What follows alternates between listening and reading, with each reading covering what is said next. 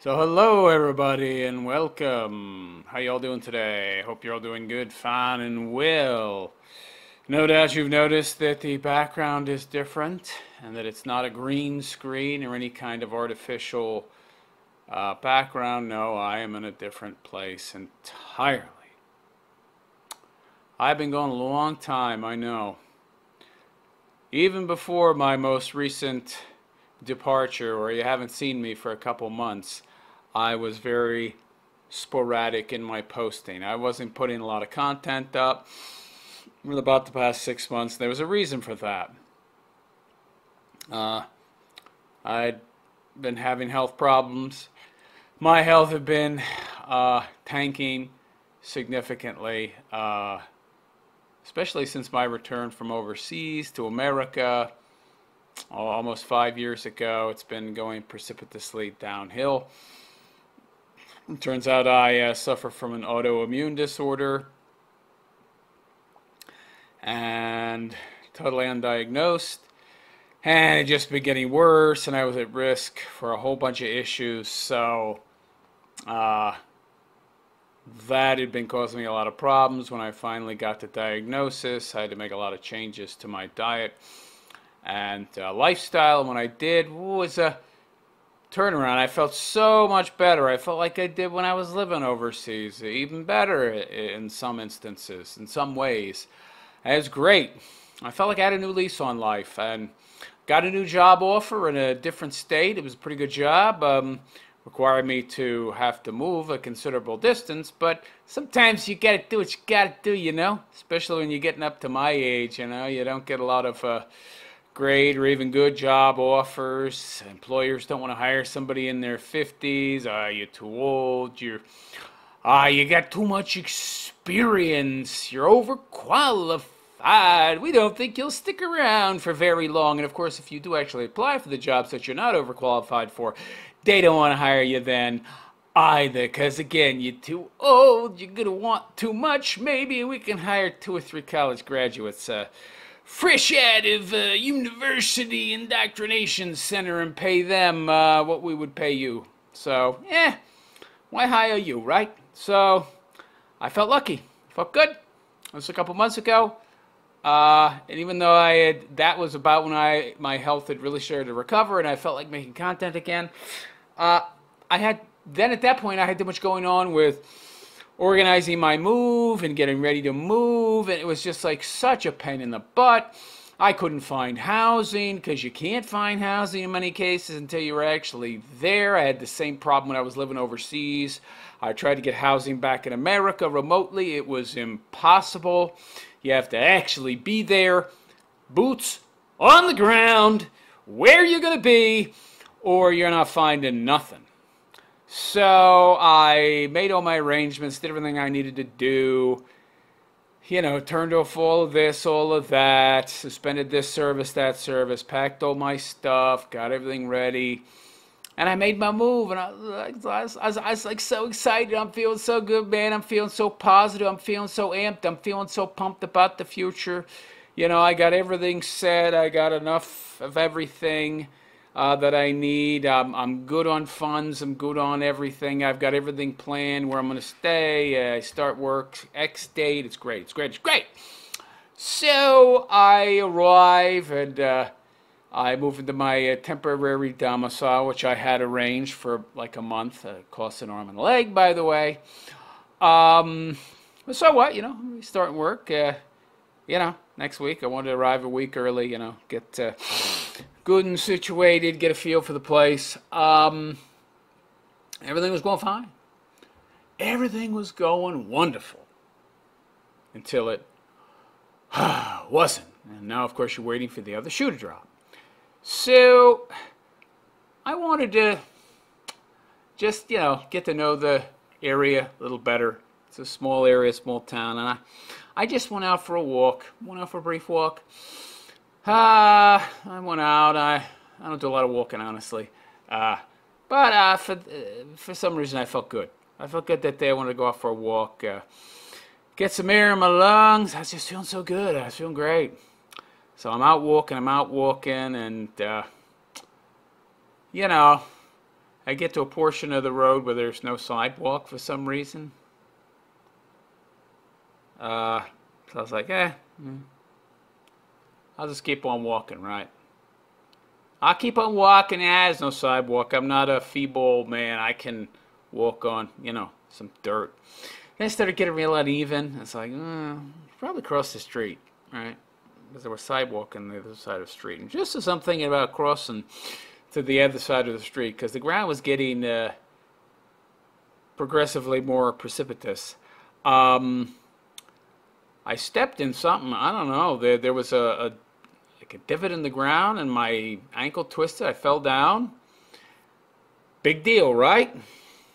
Uh, yeah, big deal. The other problem with this fall is there was a metal spike sticking out of the ground that I didn't see. Uh, went right through my leg. It wasn't particular. Ow, my leg. Same leg's bothering me right now. Um, wasn't particularly large, uh, but um, doesn't really have to be. Went in and I was like, what the hell? And I saw, and I uh, tried to pull it out. It was deep in the ground. I couldn't. I had to wrench myself off it.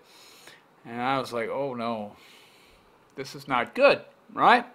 I'm an older guy. Uh, infection's a big issue. Uh, rushed to get home as soon as I uh, possibly could. Uh, and though I couldn't, you know, I didn't have that budgeted in, but uh, figured I'd be okay to, you know, go see a doctor and get it checked out. They, uh, you know, gave me a bunch of antibiotics, I think a tetanus shot, uh, hooked me up to three IV, uh, three, three IV drips. Uh, after the tetanus shot, doctor uh, cut my leg open a little more and did some uh, manual compression to, you'd call it lancing, to remove any crap and debris. And, uh, you know, I was there for about five, six hours. And then they gave me a prescription for five days for an antibiotic. I went home. Well, not home, but back to where I was staying temporarily. And I was, I seemed fine. I was like, okay, this is all right. I'm, I'm walking okay. It was just, uh, it's minor right? Did go in pretty deep, but uh, you know, I'm walking okay here, and they gave me some uh, antibiotics for five whole days, and they already gave me a drip, drippity drip thing. I should be fine. Well, it turns out that if you move to a podunk town, which is where I am compared to where I was anyway, uh, you're going to get podunk doctors who are podunk uh, in intelligence as well, it seems. Uh, so, some problems. The doctor left my leg wound open in the emergency room and discharged me with it open through various blankets and uh, coverlets over it. No kind of coverage for the wound. And as many of you probably know, hospitals are laden with bacteria, germs, viruses, many of which are highly resistant to antibiotics. So I picked up a secondary infection in the hospital I went to go to for the first infection I feared I might have, and I'd have probably actually been okay just treating it on my own. Uh, so fast forward 11 days. I'm thinking everything's okay. I'm thinking everything's all right, but then I'm getting real pain. I'm getting a lot of pain, and I'm thinking it's the tendon, right? Because the the the metal thing, the spike, it damaged my quadricep tendon, and the doctor cut into it more to lance it. So I figured this pain I'm starting to feel it's it's just it's just damage to the tendon, right?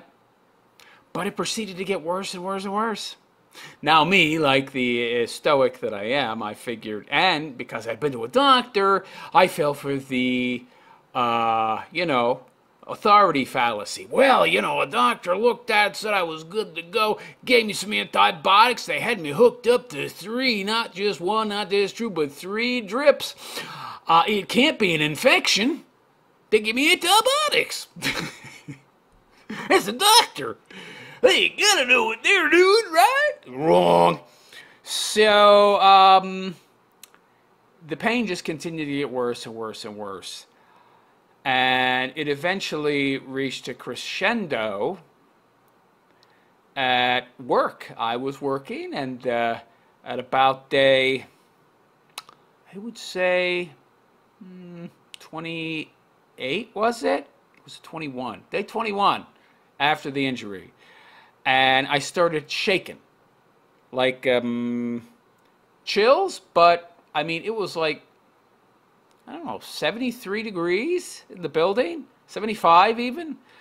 Uh, it's like over 80 outside, but I was freezing to death. I couldn't stop shaking, so I had to leave. I'm amazed I was able to drive home. And I get home and I, I got a flashlight and I looked at the, the healed over lance the, where he had cut further. I mean, the initial injury plus the injury itself had been expanded in width so he could lance it more. And I looked and it was odd because the color was wrong. It was all white and I was like, wait a second, and, and very stretched and too wide. And I'm looking at it, it looked like there was just a thin layer of skin at the top and like what was underneath wasn't actually skin. It didn't have the right texture, color. And so I got a razor, uh, you know, a little alcohol here, there on the razor, uh, and I just touched it to the top of the stretched skin that had healed over, and boom! Out came this geyser. It wasn't I didn't have to touch anything. It was like an explosion, like Krakatoa was going off, and uh, you know, like Mount Vesuvius or something. Ah, uh, it was just this explosion of purple black pus that smelled like shit.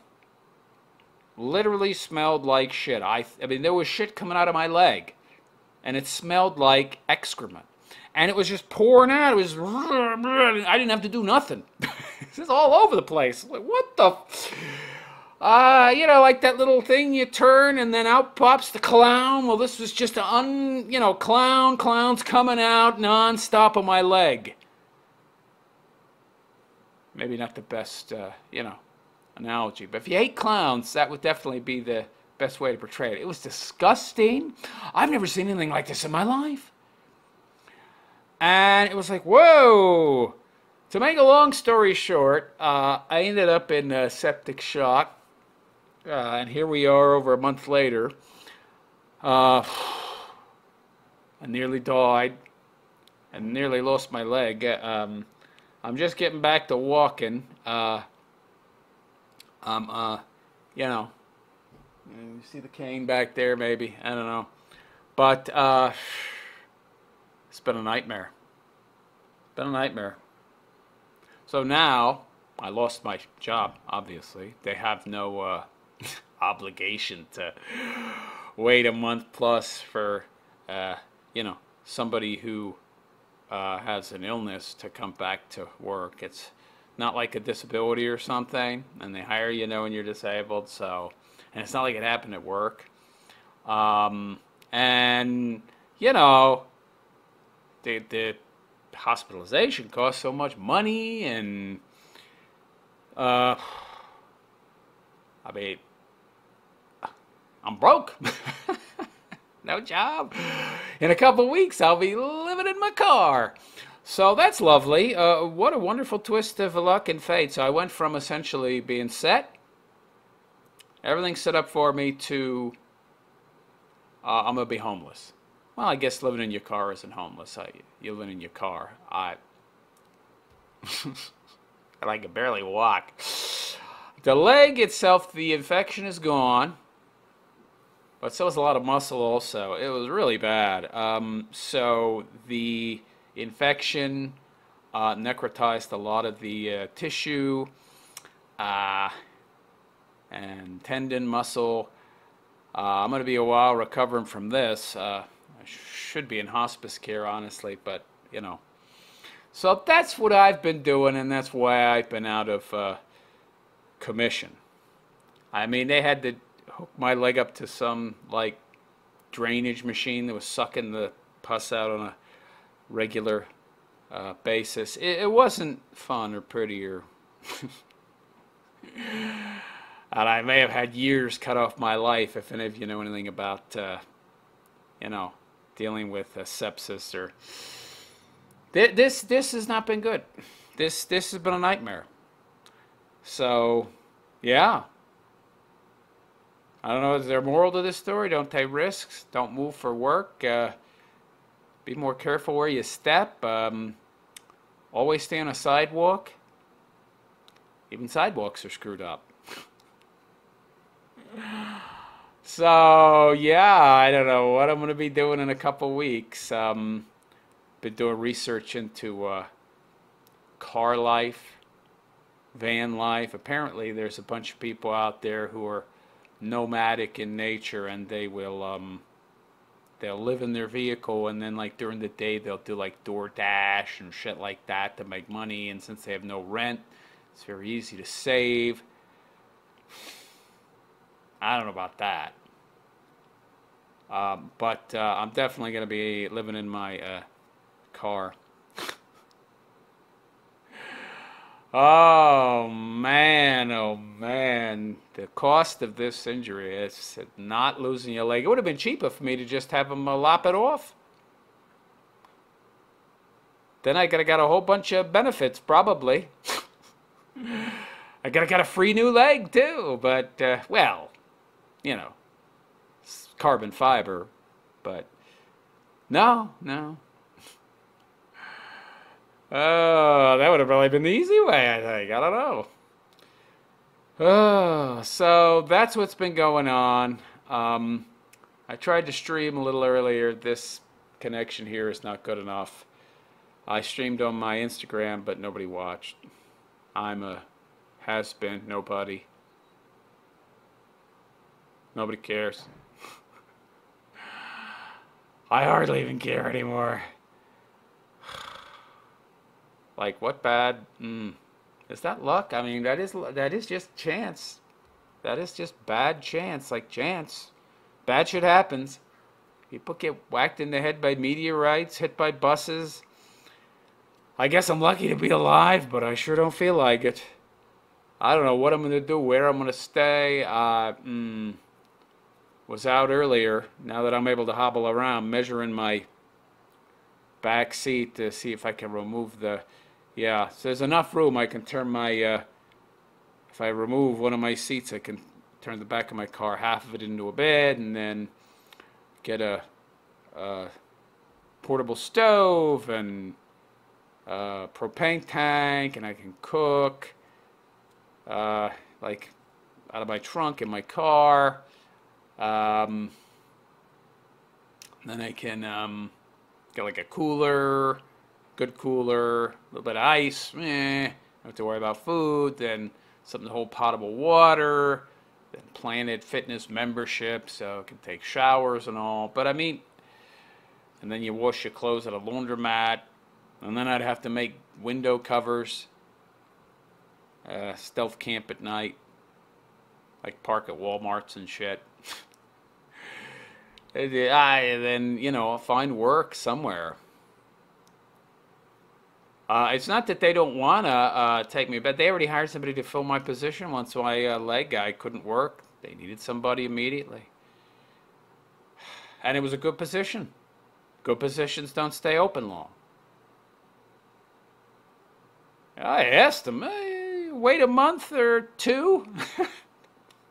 no, that's reality. She's a harsh, harsh mistress.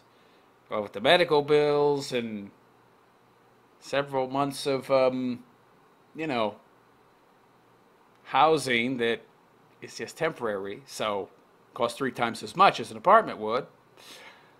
I'm broke. So anybody out there has any thoughts or can offer any kind of assistance or any ideas? Uh, I want to be living in my car. I will, of course, because, you know, what choice would I have? But uh, talk about bad um, juju. I should have stayed. I should have stayed in Phoenix. I should have known. Oh, it's, it's a good opportunity. Well, it's got to end up being crap. Ah, not like you could foresee falling down, though. Mm, injuring yourself. Anyway, um, be looking for your comments. And uh, hope to hear from you all soon.